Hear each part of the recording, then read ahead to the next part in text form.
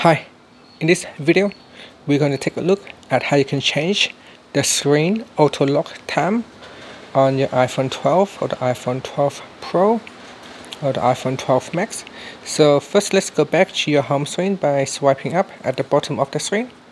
Then we're going to tap on settings. In settings, go down and tap on display and brightness. Then we go down and tap on auto lock. Now by default it is set to 30 seconds.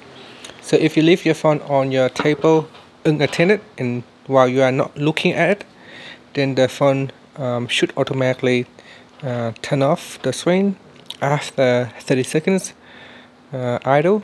So you can change this time to 1 minute, 2 minutes, 3 minutes, 4 minutes, 5 minutes or never.